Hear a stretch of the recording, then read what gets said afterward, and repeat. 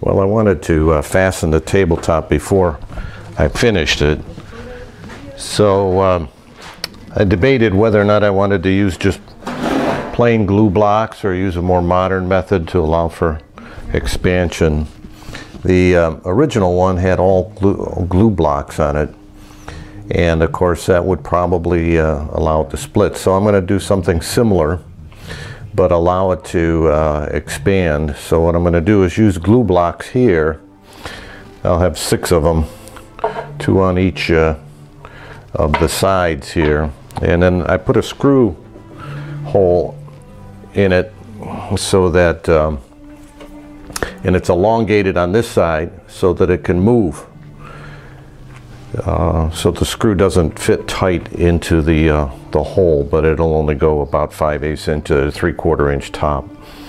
So uh, that should allow for movement, expansion of the, the table, so it should be less likely to, to uh, crack, um, and it's somewhat traditional.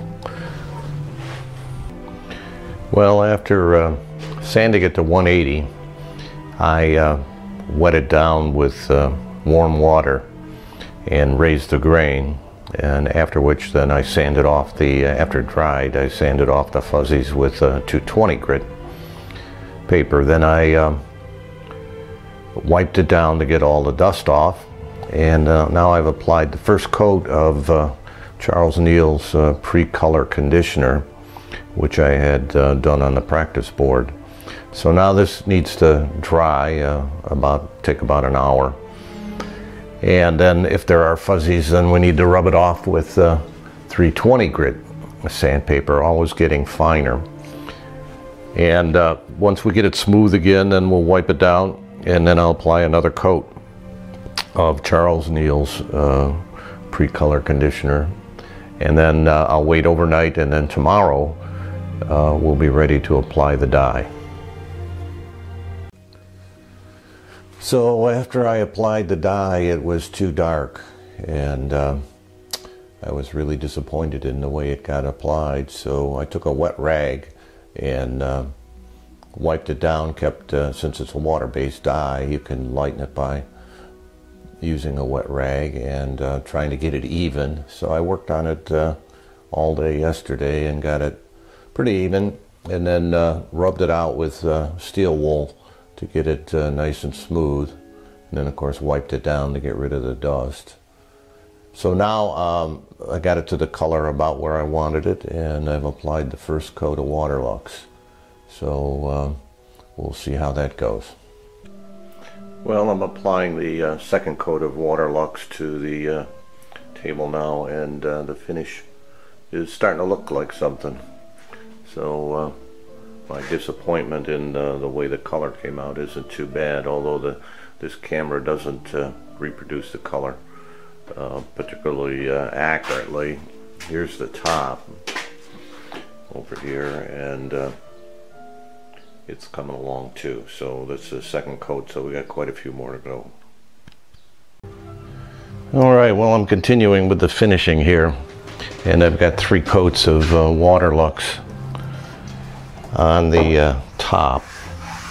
And uh, it's coming along. It'll take uh, five or six coats to, to build up a finish on it. So between the coats uh, you can hear maybe a little bit of dust. There's the dust nubs.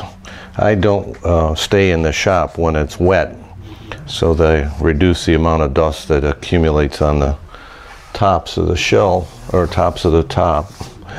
anyway, uh, so I got a 600 grit and just lightly and you want to stay away from the edges because that's where it comes off the most. And I just go across it. You can see that it's taken off some of the finish, but it's also taken off the dust nubs. And in the beginning, I didn't used to do this between the coats, and uh, I really think I get a better finish, although it's tedious by doing it between the coats. It only takes a few minutes. Now I don't sand the the ball and claw feet. I use steel wool on that, but it steel wool, of course, doesn't take it off as well as the uh, sandpaper does. But this is now baby butt smooth. So that's uh, what I do between the coats. So we'll check in when it gets finished here. Well, now I'm going to apply the uh, fourth coat of Waterlox to uh, the top here. And I got a little cup that I use. And the secret to this is thin coats, many thin coats. Although that makes it rather slow to do because I only can put on one a day. And when I first started using it, I used to put on heavier coats, you know, thinking that, well, I needed to get a lot of protection on the the wood, but uh, you run into problems with running and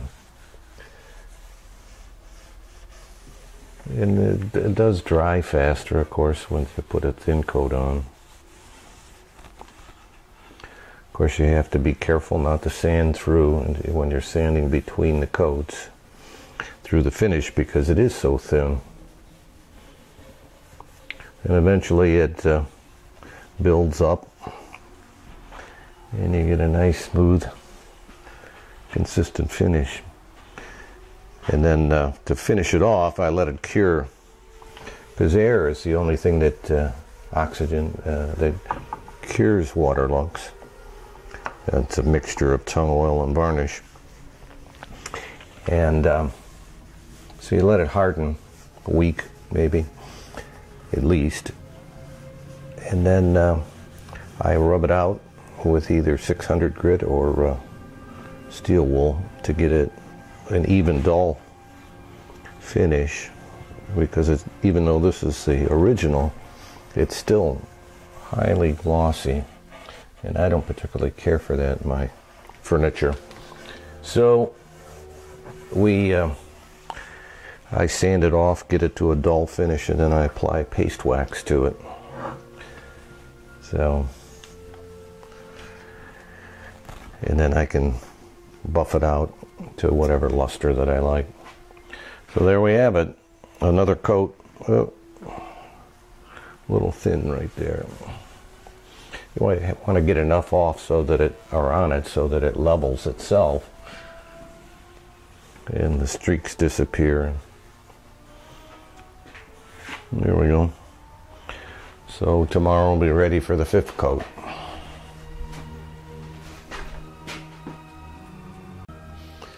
Keep trying to do the white balance uh, here to uh, the fluorescent lights that are over the workbench here are a funny color. But uh, anyway, this is about the right color, uh, as you can see. So that's with the fourth coat on there. So tomorrow we'll add number five and uh, slowly build up the finish.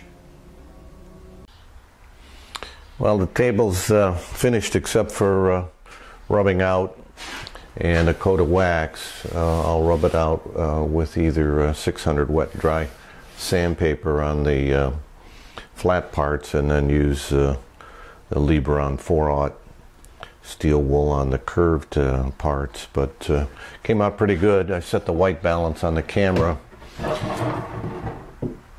to see if you could actually see the the color finally uh, but uh, I like it.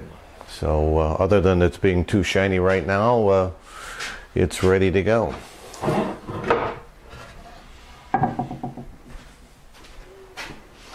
On to the next project